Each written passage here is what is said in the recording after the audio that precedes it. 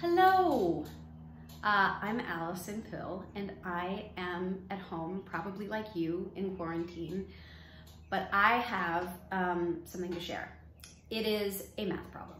It is for fifth graders or fourth graders who are like, I got this, I want a challenge, whatever. If you're in that kind of headspace during quarantine, go ahead, try it.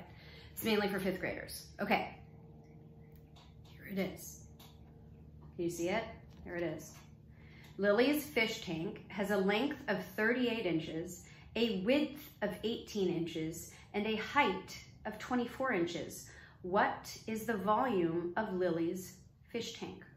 We're looking for the volume here. Volume is what times what times what. I think you're given everything you need in this word problem to figure it out, fifth graders, and I cannot wait to see what you come up with. Um, and sharing your thoughts online, because I know learning at home is kind of hard. It's a bit of a bummer. You want to be in class, you want to see your friends. But we can still keep connected and we can keep learning fun. And um, I hope you have fun with this math problem of the day. And here is a special um, hello to my friends in the San Marcos Unified School District. District.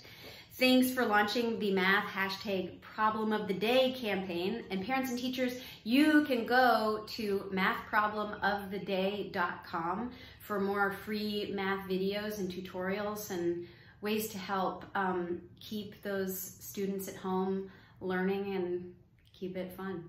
I can't wait to see if you solve. We need to know about Lily's fish tank. Let me know what you find out. Have a great day.